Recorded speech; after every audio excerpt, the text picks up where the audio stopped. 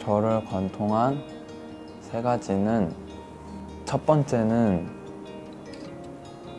JYP 왜냐면 제일 어렸을 때 들어오고 싶었고 그 꿈을 가지고 제 마음을 관통했던 게 JYP였어요.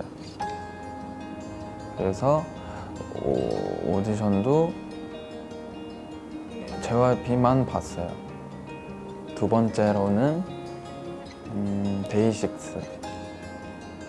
너무 좋은 형들하고 만나게 됐고 또 도훈이도 나중에 이렇게 들어오게 되고 또 좋은 음악들, 재밌는 음악들도 하고 이게 너무 제 마음을 관통해 버렸어요.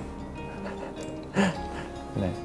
그리고 세 번째는 음, 마이데이. 어, 정말로 마이데이 분들이 없었으면 여기까지 정말로 못 왔을 거예요.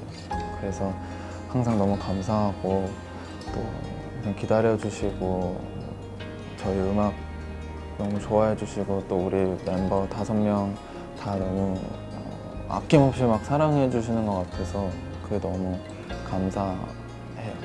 그래서 나를 관통한 세 가지는 JYP, 데이식스, 마이데이입니다.